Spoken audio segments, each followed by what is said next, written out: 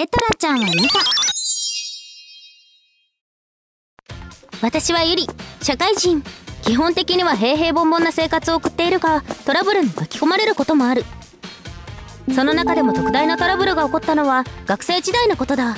その頃の私はアパートで暮らしていた。あもうこんな時間早く出なきゃ。当時住んでいた部屋は角部屋ではなかった。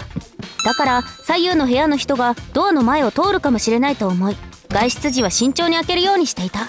しかしその日は。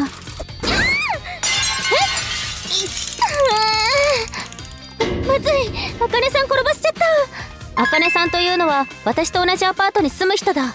ご両親がお金持ちであり彼女自身は働いていない。ここの家賃も彼らに払ってもらっているそうだ。そんなあかねさんだが何かと問題行動も多い。ゴミの日を守らない。回覧板を回さない。過ぎてる。角部屋で暮らしているのをいいことに自転車を扉の前に止めてたりする。ちなみに近くに避難経路用の非常階段があるのでかなり危ない。でもそれより何より困るのはこうして廊下を自転車で通ることだった。管理人さんから何度も注意を受けてもやめないんだよな。ってそんなこと考えてる場合じゃないや。あの大丈夫ですか？大丈夫なわけないでしょ。ほら腕すりむいちゃったじゃない。後になったらどうしてくれるのよ。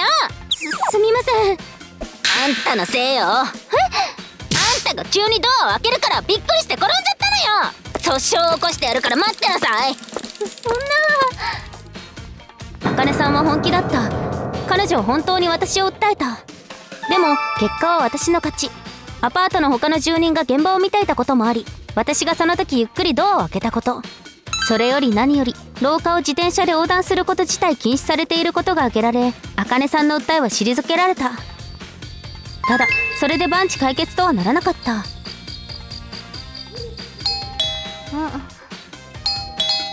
何？深夜にインターホンを何度も押されて叩き起こされたり。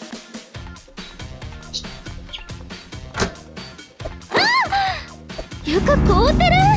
出入り口に夜の間に水をまかれ凍結させられてたり。その他にもいろんな手段で私は嫌がらせを受けた。犯人はまあなんとなくわかるでも正面切って訴えを起こす暇やお金は私にはない。だから就職とともに逃げるようにしてそこを出て別の場所に引っ越した。まあ新しいアパートはアパートで若干うまくいってないんだけど。ゆりさん越してきたばかりでドタバタするのはわかるけどもう少し静かにしてもらえる？この前何かが倒れる大きな音がして心臓止まるかと思ったわ。はあ本棚を運んでた時のことだな。思いっきり倒しちゃったんだよね。すすみません。それからこの前ゴミの日間違えてたわよ。今まで住んでた場所とはいろいろ違うだろうし不慣れなことがあるのもわかるけど気をつけなさい、えー、すみません。これは全部私の不注意のせいだしな。あかねさんみたいな理不尽系じゃないからまだ対処のしようはあるよね。まあでも打ち解けられるかどうかはわからないけど。あれ？隣の角部屋誰かいる？おかしいな。昨日まで空き家のはずだったんだけど。新入居者かな？やっと見つけたわよ。え？久しぶりね。今日から私もこのアパートに住むことになったから。よろしく。あかねさん。いやー探したわ。突然いなくなっちゃうんだもの。まるで逃げるみたいに。そういうわけじゃ正直その時点で勝利宣言してもよかったけどでもまだ腹の虫が収まらなくてね。人に怪我を負わせといてのうのうと暮らしてるんですもの。許せないじゃない。ねえ。というわけで今後もよろしく。はは最悪だ最悪な事態が起こっちゃったただでさえ他の人とのご近所付き合いがうまくいってないのに加えてあかねさんまでどうしようまた引っ越した方がいいのかないやでもあかねさんと違ってそんなお金ないよ。仕事だって忙しいし。そんな感じで私は心の底から絶望した。あかねさんはまだ越してきたばかりということもあり嫌がらせは開始しなかったがそれも時間の問題のように思われた。事件が起こったのはそんなある日のことだった。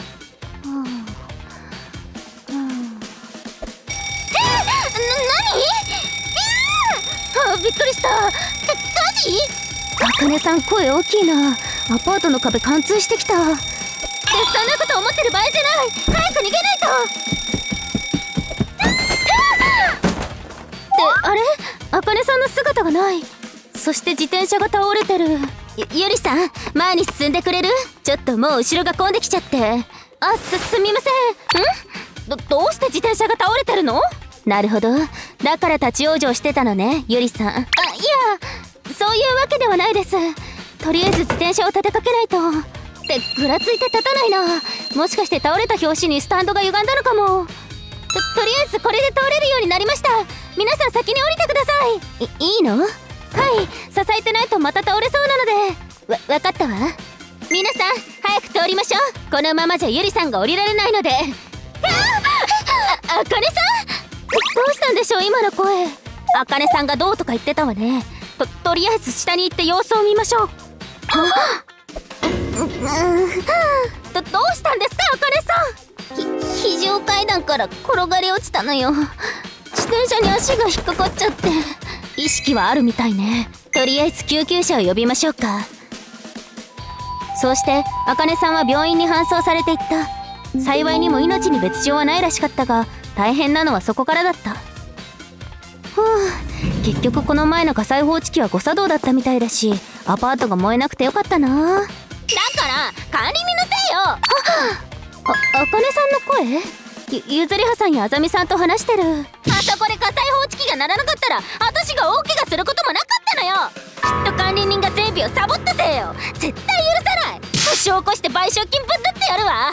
ほんと信じられないわあの管理人。普段は自転車で通路を走るなとかガミガミ言うくせにねえあざみさんとゆりさんもそう思うよね。いや私はそうは思わないわね。私も。火災報知器の誤作動は良くないけど。でもあなたが大怪我したのはあなたのせいよ。あかねさん私普段から気になってたのだけどどうしてドアの前に自転車を置いてるの？え？そりゃ中には入れられないし自転車小屋はいつ盗まれるかわからないしそれに角部屋だから通行の邪魔にはならないじゃないのこのアパートはね左右の角部屋の前のあたりに非常階段があるのよ。避難時に邪魔になるとは思わなかったの？だだって避難するような場面なんてそうないと思ったし。そうね。でも今回みたいにある時はあるのよ。結果今回のあなたみたいに自転車で転ぶような人が出てくるわけ。あと一つ気になったのだけどね。な何よ？あかねさんは自転車で転んで非常階段に落ちたのよねそうよ。ドアを慌てて開いたら自転車に当たって倒れたから。それで飛び越えて逃げようとしたら引っかかったのよ。なんで倒れたままにしてたの？え？仮にそれであかねさんが無事に飛び越えられたとしてよ。その後に非常階段を使いたい人たちがかなりの迷惑を被るじゃないの。仕方ないじゃない！焦ってたのよ！ゆりさんは自転車を立てかけて他の人たちを行かせたわよ。は？だだからなんだって言うのよ。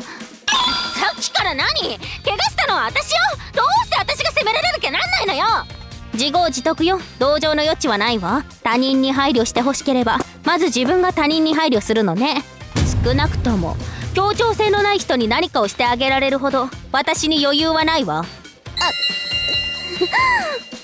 すごい。あのあかねさんを黙らせちゃった。その後あかねさんは結局管理人相手に訴訟を起こそうとしたらしい。だがそれがどうにもうまくいかなかったようだ。聞くところによるとご両親が裁判費用などを出さなかったのだという。何度も妙な訴訟を起こそうとする娘にようやく今のままの教育方針ではダメだと気づいたのだろう。それからしばらくして茜さんはアパートを出て行った。今回の一件で家賃を払ってもらえなくなったのかもしれない。最近は近所のコンビニでアルバイトをしている姿も見られるそうだ。ようやく自分の力でお金を稼ぐ気になったらしい。一方私はといえばゆりさん肉じゃがを作りすぎたんだけどいる？えいいんですか？ありがとうございます。いいのよ。こちらこそこの前はありがとうね。ゆりさんのお裾分けしてくれたプリン美味しかったわ。そうですか？嬉しいな。私も食べたわあのプリン。かなり良かった。ところであの卵ってどこのを使ったの？あああれは近くのスーパーのもの。なるほど。でも卵ならもっと安く買える場所があるわよ。えそうなんですか？そうよ。今度教えてあげる。あありがとうございます。自転車を立てかけた一件で私はあざみさんたちと打ち解けることができた。きっと信頼されたのだろう。私は今楽しく暮らしている。おいしい。ああ幸せだな。ご視聴いただきありがとうございました。まあ非常事態なんて起きない方がいいに決まってますけどね。それでも避難経路を妨害するものを置くのは見過ごせないです。ルールはルール。自分たちの安全や快適な暮らしのためにあるものなんですから守るように努めるべきですよね。というか腹が立ったからわざわざ仕返しのために引っ越してくるなんて暇人すぎではとか思っちゃいました。皆さんはどう感じましたか？コメント欄に書いていただけると嬉しいです。また少しでもスカッとした方チャンネル登録と高評価をお願いいたします。